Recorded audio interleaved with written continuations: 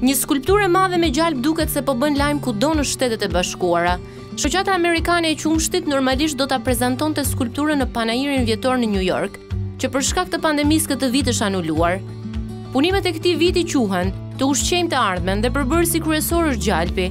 Artistët kanë përdorur plot 363 kg gjalp për të ndërtuar brenda pak orëve skulpturën masive. Mesazhi kryesor që artistët donin të përcillnin përmes skulpturës është rëndësia e konsumimit të qumështit te nxënësit, qofshin në shkollë apo në shtëpi, dhe imazhet e saj kanë pushtuar rrjetin.